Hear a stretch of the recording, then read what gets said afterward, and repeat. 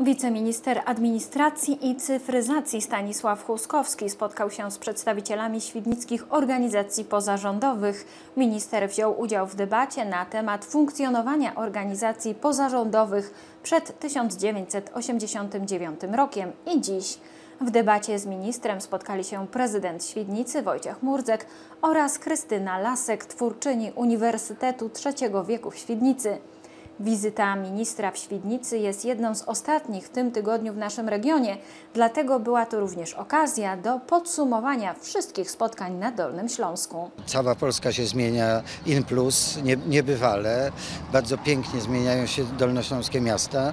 Ja akurat mam szczęście odwiedzać pewno te, którym się bardziej powiodło i e, mieszkańcy chyba mogą mieć więcej e, e, powodów do zadowolenia. Świdnica jest tego przykładem, jest naprawdę przepięknym miastem. Była zresztą, jest i skorzystała na nowoczesności, na byciu w e, Unii Europejskiej.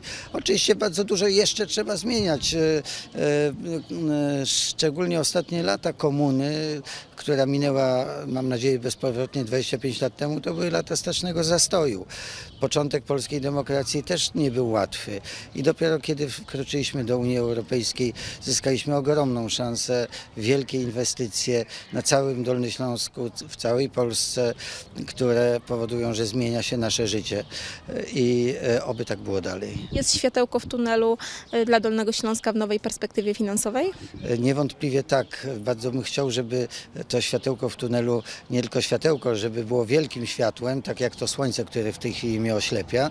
E, To jest duża szansa dla Dolnego Śląska. To będą naprawdę duże pieniądze, które będzie można wykorzystać. Oczywiście nie e, w zarobkach mieszkańców, ile dla dobra wspólnego, czyli na drogi, na e, obiekty kultury, obiekty e, edukacyjne, na mosty, na e, bardzo, bardzo wiele różnych projektów, tak zwanych też miękkich, wsparcia dla organizacji pozarządowych. Byłem dopiero co na zebraniu, e, spotkaniu organizacji pozarządowych w Świdnicy.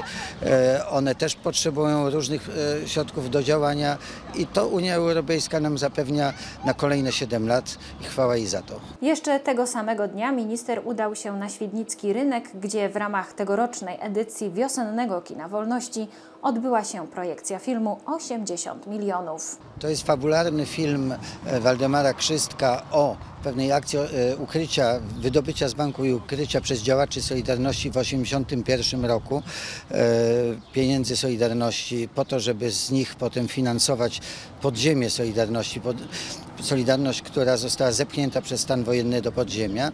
Film jest bardzo prawdziwy w sensie takim, że świetnie oddaje atmosferę tamtych czasów.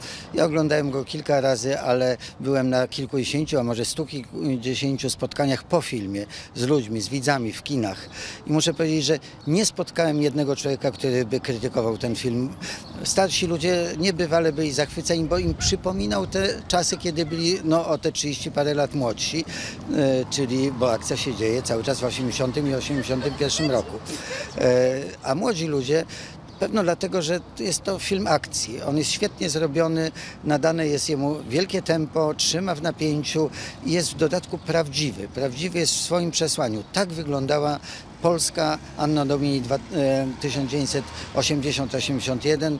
Tak wyglądał Dolny Śląsk w tamtych czasach. Tam, tak wyglądała Solidarność ówczesna, która miała 10 milionów członków i była pełna e, ludzi z entuzjazmem, z, chęcią e, bycia, życia w wolnym, demokratycznym kraju, bez cenzury, z, możliwości, z możliwościami rozwoju, samorozwoju, z możliwościami otwartych granic, bycia przyjaciółmi ze wszystkimi narodami europejskimi. Po latach to się ziściło, po e, wielu latach, ale się ziściło. Mamy te szanse, korzystajmy z nich.